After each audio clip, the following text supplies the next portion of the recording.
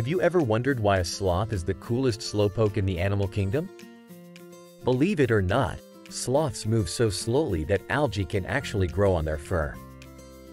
This greenish coat acts like a natural camouflage, helping them blend into the rainforest canopy. Plus, the algae provide nutrients to the sloths, making this a win-win situation. Talk about a slow and steady survival strategy.